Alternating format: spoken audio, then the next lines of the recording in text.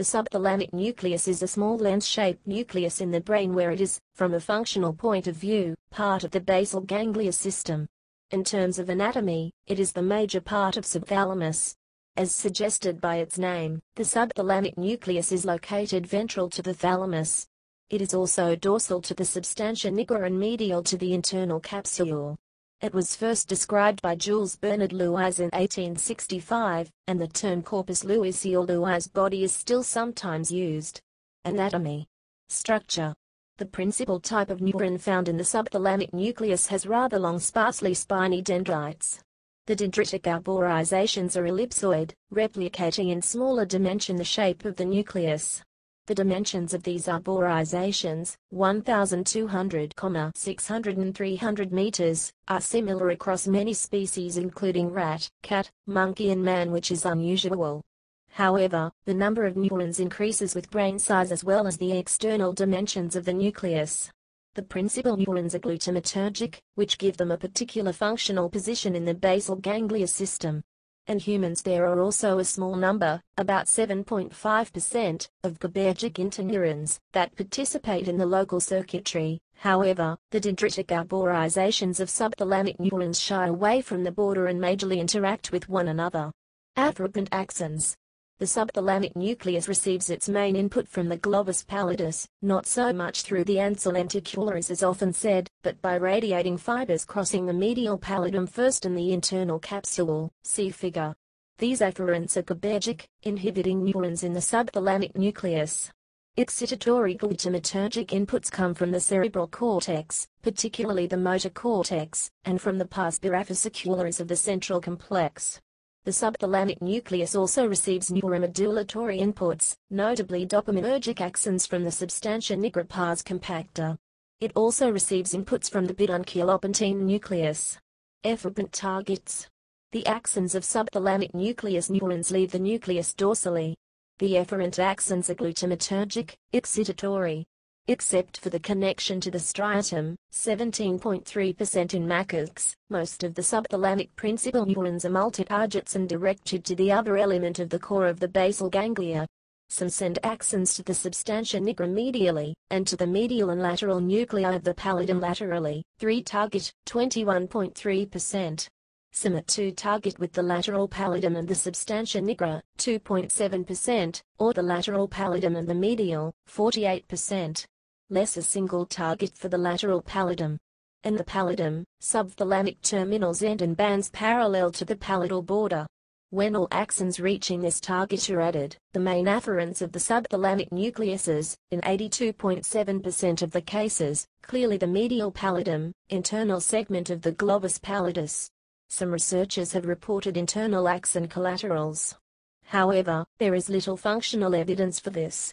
Subthalamic nucleus, the first intracellular electrical recordings of subthalamic neurons were performed using sharp electrodes in a rat slice preparation. In these recordings three key observations were made, all three of which have dominated subsequent reports of subthalamic firing properties. The first observation was that, in the absence of current injection or synaptic stimulation, the majority of cells were spontaneously firing. The second observation is that these cells are capable of transiently firing at very high frequencies. The third observation concerns nonlinear behaviors, when cells are transiently depolarized, after being hyperpolarized below minus 65 MV. They are then able to engage voltage-gated calcium and sodium currents, to fire bursts of action potentials. Several recent studies have focused on the autonomous pacemaking ability of subthalamic neurons. These cells are often referred to as fast spiking pacemakers, since they can generate spontaneous action potentials at rates of 80 to 90 Hz in primates. Lateropallido-subthalamic system. Strong reciprocal connections link the subthalamic nucleus and the external segment of the globus pallidus. Both are fast spiking pacemakers. Together, they are thought to constitute the central pacemaker of the basal ganglia with synchronous bursts. The connection of the lateral pallidum with the subthalamic nucleus is also the one in the basal ganglia system where the reduction between emitter-receiving element is likely the strongest. In terms of volume, in humans, the lateral pallidum measures 808 mm, the subthalamic nucleus only 158 mm. This translated in numbers of neurons represents a strong compression with loss of map precision. Some axons from the lateral pallidum go to the striatum. The activity of the medial pallidum is influenced by afferences from the lateral pallidum, and from the subthalamic nucleus. The same for the nigra reticulata. The subthalamic nucleus sends axons to another regulator, the pedunculopontine complex, id. The lateropallido-subthalamic system is thought to play a key role in the generation of the patterns of activity seen in Parkinson's disease. Pathophysiology Chronic stimulation of the STN, called deep brain stimulation, DBS, is used to treat patients with Parkinson disease. The first to be stimulated are the terminal arborizations of afferent axons, which modify the activity of subthalamic neurons. However, it has been shown in thalamic slices from mice that the stimulus also causes nearby astrocytes to release adenosine triphosphate, ATP, a precursor to adenosine, through a catabolic process.